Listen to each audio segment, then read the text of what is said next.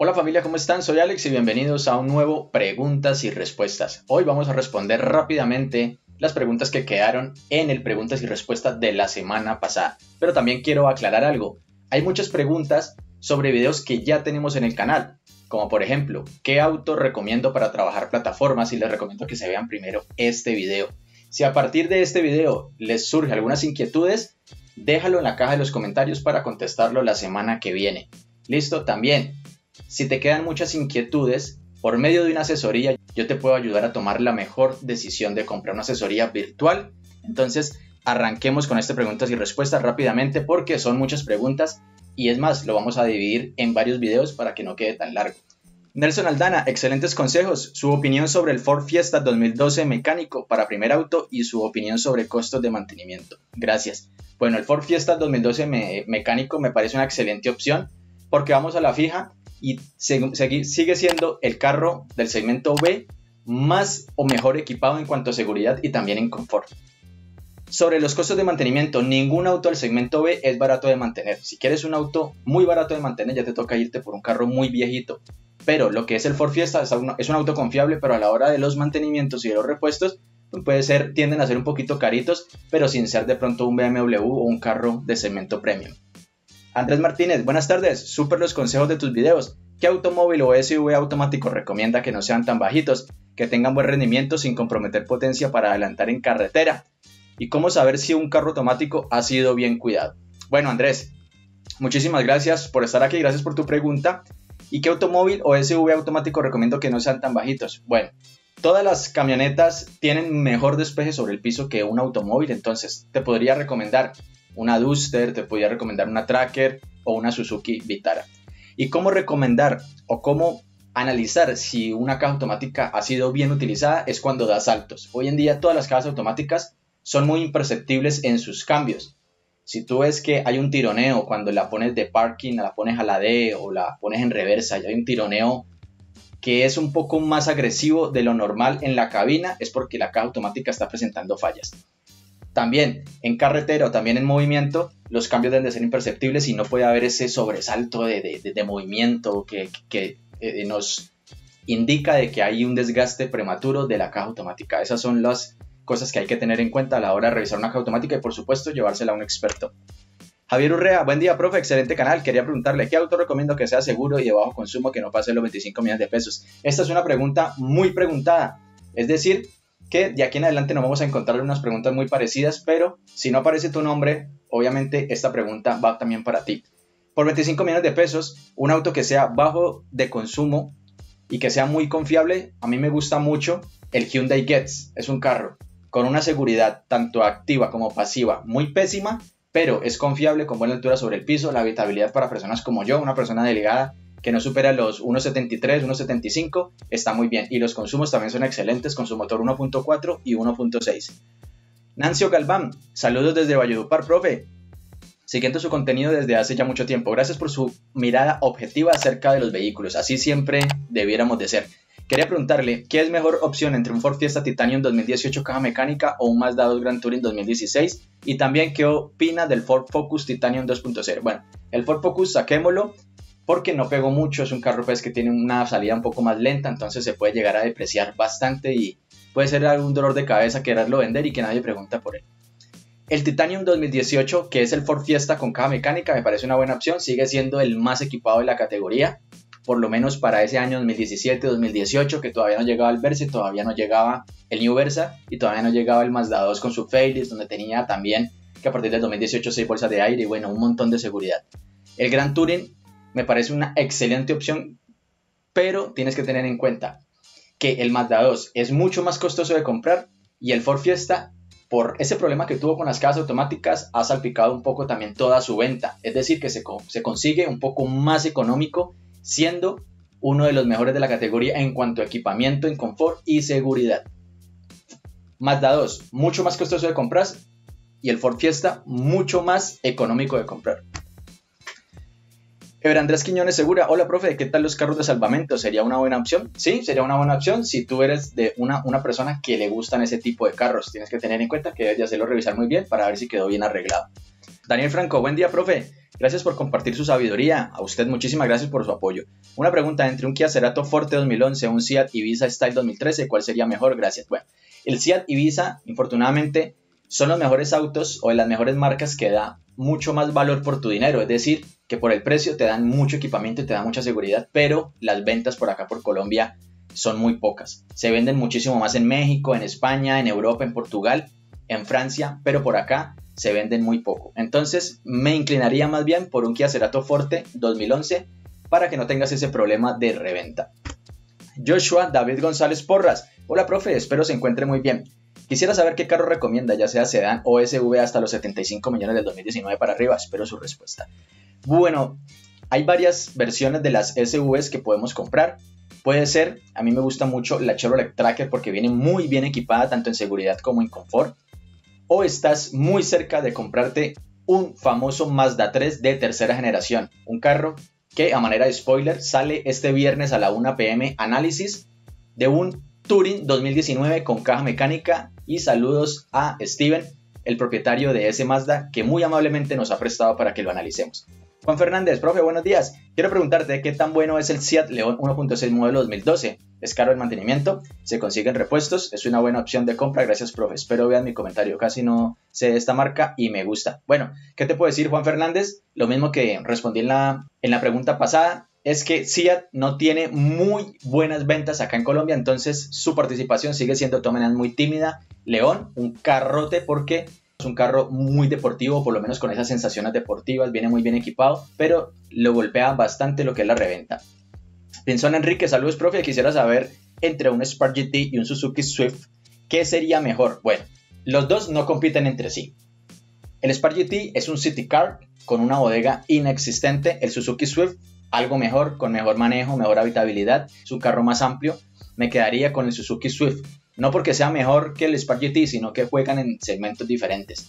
Si tienes la posibilidad de comprarte un Suzuki Swift, estás comprando un mejor carro, es decir, con mejor equipamiento, mejor seguridad, mejor manejo, mejor casi todo. David Camilo Garnica Escobar, buenas tardes, profe. Gracias por aconsejarnos y saber cómo detectar un buen vehículo. Qué bien. Muchísimas gracias a usted por su apoyo. Profe, pregunta, ¿qué carro recomendaría más entre un Hyundai Accent Vision o un Kia Rio Excite? Gracias y saludos. Son el mismo carro, son igual de confiables, son carros que se consiguen un poco caritos, pero por su confiabilidad y porque no tienden a ser carros tan costosos de mantener. Entonces ahí que entre el diablo y escoja porque los dos serían excelentes opciones. Profe, buenas tardes, excelentes videos. Hugo Rodríguez nos pregunta, estoy decidido a comprar mi primer auto, quiero saber su opinión sobre el Optra y el Alegro. ¿Cuál de estos sería mejor como primer auto? Como primer auto yo te recomiendo el Mazda Alegro porque es más confiable. El Optra viene mejor o un poquito mejor equipado, pero es un poquito más cositerito. Le gusta un poquito más el taller que el Alegro. El Alegro sí es más confiable. Michael Barrera, hola profe, ¿qué sería lo mejor entre comprar un auto más nuevo, un poco más básico, o un modelo más antiguo pero más equipado? Suponiendo un presupuesto alrededor de los 35 millones de pesos. Profe, yo siempre me voy a inclinar por el auto más nuevo posible. Hay personas que no les gusta esto y prefieren el equipamiento, pero un auto entre más viejo es más complicado encontrarlo con buenas señales de uso. Si usted no tiene la capacidad de reconocer un auto cuando ha sido maltratado o ha sido bien tratado, mejor le recomiendo que trate de comprar el carro más nuevo posible y dejémosle a las personas con más sabiduría que compren carros más usaditos y con más equipamiento porque pueden reconocer cuando están en buen estado o cuando están en mal estado. Alfonso B. Profe, cordial saludo. Voy aprendiendo de su excelente exposición sobre vehículos. ¿Qué escogería usted entre una Mitsubishi Montero Sport 2017-2018 Diesel 4x4 o una Toyota Prado BXL 2011-2012? Diesel igualmente. ¿Cuál preferiría usted y por qué? Yo prefiero la Toyota por representación porque ha sido el sueño de toda mi vida, porque tengo un auto no más confiable que la Mitsubishi, son igual de confiables, pero por acá se vende mucho más y se deprecia menos lo que es la Toyota y más en esta configuración BXL. Jans te enseña, nos pregunta, qué buenos tus videos, porfa, me gustaría saber sobre el Volkswagen Gol 2005 versus Mazda Allegro hatchback del mismo año. Ya quiero adquirir uno de los dos, muchas gracias. Bueno, el Volkswagen Gol mm, me prefiero el Mazda Allegro por su confiabilidad, por su habitabilidad. El Gol es un poquito más pequeño, la habitabilidad no es la mejor y es un carro que eh, sus ventas son menores que el Allegro, porque el Allegro en ese caso es un carro es más confiable, se vende mejor. El Volkswagen Gol te lo recomiendo, pero a partir del 2009, que es su siguiente generación. Andrés Rojas, profe, felicitaciones por sus videos y opiniones. Voy a comprar mi primer vehículo, cual me recomienda que sea económico y juvenil. Tengo presupuesto de 55 millones. He pensado en un Kia Rio Space. ¿Es buena opción? Sí, es buena opción. Lo consigues alrededor de los 48, 50 millones de pesos, 52 incluso. Es un carro muy costoso, pero es un carro que todavía vale la pena y mucho. Lo compras caro, pero lo bueno es que a la hora de venderlo también lo vas a vender caro porque es un carro que tiene muy buena aceptación por estos lados. Hamilton Acosta, profe, buena tarde, ¿qué opinión te merece el BMW 320i del 2018? La respuesta se consigue, el mantenimiento es muy costoso. ¿El mantenimiento muy costoso? Sí, ya estamos hablando de autos premium.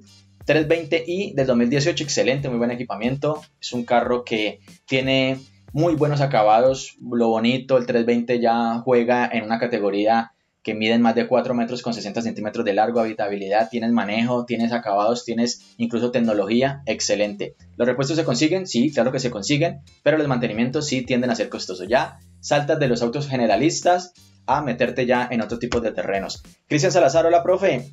Alex, ¿qué me recomiendas entre un Mazda 2 hasta el 2012, un Chevrolet Sonic hasta el 2014, vivo en Medellín, pendientes o qué otro por los 30 millones? Muchas gracias por compartir tu conocimiento. Cristian Salazar, Muchísimas gracias por tu apoyo, gracias por preguntar. Y bueno, el Mazda 2 te lo recomiendo por encima de un Chevrolet Sonic. Del segmento B, el que menos tiene equipamiento, el que menos tiene manejo, el que menos tiene refinamiento del Chevrolet Sonic, por eso no lo recomendaría. Y más bien un Mazda 2, lo único que te recomiendo es que con paciencia para que lo puedas conseguir bien. Por 30 millones de pesos, mm, no tanto porque son un poquito caritos, pero de pronto tú haciendo tu máximo esfuerzo, lo puedes conseguir por encima de los 30 millones de pesos para que lo disfrutes bien y te va a responder siempre en las pendientes de Medellín. Sebastián Jaramillo, profe, entre un Hyundai i25 y el Kia Rio Spice, ¿me podría decir cuál consideras que tiene más fuerza y cuál es un poco más alto del piso? Mil gracias por tus respuestas y videos. El i25 tiene la motorización que no tiene el Kia Rio, que es el 1.6 de 122 caballos de potencia y 152 Nm de torque. Entonces, el Hyundai i25 por su motor más grande. Buena costa, ¿cuál de estas dos sería más adecuada? Para uso urbano y viaje en carretera pavimentada y una que otra vía destapada. Nissan Qashqai del 2014 al 2016, 2.0 mecánica Hyundai Tucson 2.0 mecánica, las dos a gasolina. Bueno, la Nissan Qashqai es levemente más pequeña que la Hyundai Tucson. Si es para sacarla fuera de la carretera, la Hyundai Tucson puede ser una excelente opción. La Qashqai es un poco más señoritera, es decir, que tiene menos capacidades off-road no quiero decir que no la pueda sacar, simplemente que la Tucson es un poco más, como es más grande, de la categoría de las medianas, su altura sobre el piso es un poquito mejor. Entonces a la hora de enfrentar esos terrenos un poquito difíciles, solamente un poquito difíciles, te puede sacar mejor que la Nissan Qashqai. Carlos Márquez, buenas tardes, profe. Un consejo, ¿qué carro se podría comprar para hacer plataformas? recomienda comprar nuevo de segunda. No, de segunda, profe. ¿Para qué va a comprar un auto nuevo para trabajar plataformas? Para que las personas se lo dañen. No, te recomiendo que veas este video.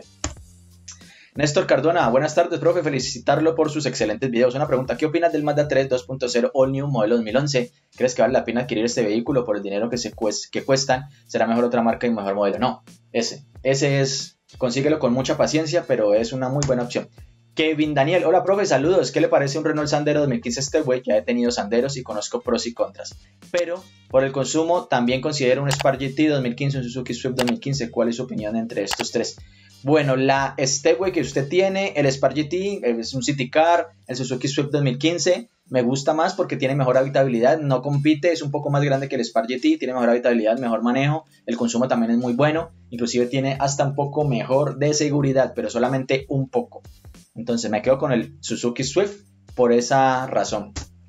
David Restrepo, profe, ¿qué me recomienda de acuerdo a mi presupuesto? Si entre un Optra 1.6 2008 o 2009, mecánico un Mazda 3 1.6 modelo 2006. Me gusta su diseño, es para carro familiar. Bueno, el Mazda 3 es un poco más costoso de mantener por su alto consumo, por sus repuestos, en fin. El Optra es un poco más económico, pero su consumo es fatal. ¿Me iría por el Mazda 3? Sí, estás en buena capacidad económica ahora mismo de mantener el Mazda 3. Daniel Barón, buen día profe, empiezo a ver sus videos y están muy buenos. Quiero comprar un Volkswagen Gol 2012 como primer carro. ¿Qué tal sale este vehículo? Excelente, muy confiable en su motor. Walmer Simarra, excelente video, profe. ¿Qué tal el Suzuki Swift Desire, el Nissan March y el Chevrolet Beat? ¿Cuál es más económico en cuanto a consumo y mantenimiento? Entiendo que no son competencia directa los tres para un presupuesto de 40. Yo me compraría el Chevrolet Beat, es el más económico porque es un City Car que deja de ser un City Car por tener esa bodega de 400 litros, entonces se pone un poquito más grande, pero no deja de ser un City Car en cuanto a su habitabilidad y su motor. Tiene un consumo alrededor de los 50-55 kilómetros por cada galón de combustible. El March consume un poquito más, pero tiene un motor más grande. Yo me iría por el Bit porque por 40 millones de pesos. Y si pudieras conseguir algo más de dinero, comprarías el Bit año 2021 que ya viene con cuatro bolsas de aire. Liluz 1. Hola, profe. Saludos desde México. Tengo presupuesto de 15 mil dólares y ya hice prueba para una Honda HRB 2018 con 75 mil kilómetros, pero estoy indecisa, ya que solo tiene cuatro bolsas de aire para piloto y copiloto. ¿Me puede recomendar algún otro con mejor seguridad? Claro, con mejor seguridad, la Chevrolet Tracker a partir del año 2017. Esa es la que te puedo recomendar y saludos a todos por allá en México. Luis Andrés Padilla Romero, profe, buen día. ¿Cuál es vehículo alternativas más económicos existen con caja mecánica de 6 velocidades que puedes recomendar? Muy pocas, muy pocas la verdad. Yo me inclinaría por un Hyundai Accent i25 de cuarta generación que tenga caja de 6 cambios hacia adelante. Santiago Sarta, un saludo desde Bogotá, profe. ¿Qué carro me recomienda como primer carro entre un Clio y Symbol Corsa Evolution buscando economía o sería mejor un Twingo? Bueno, un Twingo es el rey ahí de la categoría pues en cuanto a economía. El Corsa Evolution, muy bien, es un carro confiable. Yo me iría por el Clio en cuanto a que ya tenemos cuatro puertas, la bodega pues no es muy grande, el manejo es un poquito más responsivo porque tenemos motores 1.4 a partir del 2008 1.6 que es el famoso K4M que tiene un rendimiento muy bueno y un torque excelente para lo liviano que es el automóvil. Entonces me iría más bien por un Clio, un Corsa Evolution un poquito más señorial, entonces por eso no lo recomiendo tanto. Y el Symbol es un carro más barato porque sus líneas no agradan mucho, entonces se consigue más económico, pero ese carro también, también es confiable y se puede mantener de una manera más fácil. Miguel Ángel Arevalo, profe, estoy entre un Mazda 3 2.0 primera generación o un Mazda 6 All New 2.3. ¿Cuál me recomiendas? Me preocupa el Mazda 6, su altura al piso y reventa. Priorizo seguridad y potencia. Bueno, el 6 All New 2.3, excelente. El 3 2.0 primera generación también me gusta. Tiene mejor salida y muchísima mejor salida el Mazda 3 2.0. El Mazda 6 All New 2.3 es un poquito más gastalón de combustible es obviamente porque es más, pesado, el motor es más grande, pero su salida es un poquito más lenta y se deprecia más. El Mazda 3 se mantiene mejor en precio. El Mazda 3 no viene tan equipado en seguridad, el Mazda 6 sí, pero le pega mucho lo que es la reventa. Juan Manuel Uribe, profe, excelente información. Saludos desde Medellín. ¿Qué me recomiendas entre un Chevrolet Onix Turbo 2021 o una Chevrolet Tracker 2018 u otro carro con ese presupuesto de 70 millones como máximo? Bueno, ya por 70 millones de pesos no me iría ni por la ni por el Onix Turbo. Si, si necesitas la Tracker por habitabilidad y por altura sobre el suelo, sí. Pero yo me iría más bien por un Mazda 3, modelo 2017, un modelo 2018 si me alcanza, peleando de pronto el precio, o por un Mazda 2. También me iría por ese. No me iría por un Chevrolet Onix Turbo porque la gasolina extra está muy costosa. John Alexander Vargas, profe, buenas tardes, saludos desde Bogotá. Compré, compré una VW Motion GT 2012 1.6, algunas recomendaciones para los primeros mantenimientos que se debe priorizar. Muchas gracias. Bueno, lo primero es dejarlo mecánicamente bien. Revísale si ya le cambiaron la correa de distribución, revísale los amortiguadores, las llantas, hazle alineación, balanceo. Mira qué aceite le, le, vienen aplicando, si le vienen aplicando el aceite que es, el que no es, trata de cambiarlo, habla con tu mecánico que sea experto en la marca y siempre manténlo bien sincronizado para que no consuma más combustible no normal porque este carro tiende a consumir bastante. Giovanni Franco, hola profe, buen día, bendiciones desde Aruba. Acabo de ordenar un Veloster 2012 y me gustaría saber qué tipo de aceite debería hacerle a su servicio y qué tal es su consumo de combustible. El consumo de combustible del Veloster es bueno, no es malo, y lo mejor es siempre desde su inicio como 0 kilómetros hasta la muerte de su motor debe de tener o aplicarle el mismo aceite que en este caso es 10W30 o 10W40 y sintético. Oscar Reyes, buenas tardes caballeros, ¿qué piensas del Renault Megane 2? Pues me gusta mucho ese carro, pero sé que dicen que molesta mucho la parte eléctrica, me gustaría saber tu opinión. Soldado advertido no muere en guerra, entonces yo me iría más bien por otra de su misma categoría que puede ser el Mazda 3. Dubán Montaño, profe, buenos días, qué buenos tus videos. Quiero un carro para salir a todo lado en carretera normal y destapada con la familia con un presupuesto de 50 a 55 millones. Estoy pensando en un Sandero Stepway y una Suzuki S-Cross. ¿Cuál me recomienda o qué otra recomendación me da?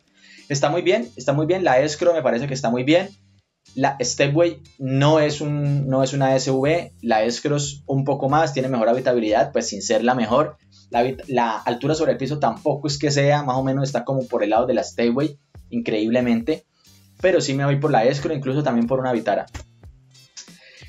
Validation Express, buenas noches, gracias por su información. Una pregunta, ¿por qué nunca das como opciones al Ford Fiesta? ¿Qué opinas de este carro? El Ford Fiesta, claro que doy opiniones sobre el Ford Fiesta. Me encanta, es el más equipado de la categoría con 7 bolsas de aire, con asistencias electrónicas. Lo único que tienes que tener en cuenta que a la hora de comprarlo, con caja mecánica no tienes problemas. Si es la automática, revísala muy bien. Juan Diego AM, hola profe, buena tarde. ¿Qué opina del Renault Clio 1.6 como primer auto? Gracias y un saludo desde Bogotá. Saludos. Bien, muy bien. El 1.6 es un volador. Me gusta mucho el Clio 1.6. Pedro Miguel Roberto López dice: Buenas, tengo una gran pregunta. Tengo una B1.6 y quisiera cambiar un Nissan Tiida HB. El consumo varía mucho. El consumo no varía mucho, pero sí es mejor en el Nissan Tiida. Game Short 101, profe, muchas gracias por compartir su información. Queremos saber su opinión sobre el Chevrolet Sonic 1.6 automático 2013. Bueno, el Chevrolet Sonic es económico de comprar, es el auto que yo menos recomiendo de la categoría B porque tiene competencia muy fuerte, infortunadamente. Y ya para terminar, familia, Juan Ospina con la última pregunta. Buenas noches, profe. Excelentes videos, gracias por sus aportes. ¿Cuánto podría pagar por un Ford Fiesta SE caja mecánica 2014 con 140 mil kilómetros en buen estado? Detalle de pintura, se conduce muy bien de antemano, agradezco su apoyo.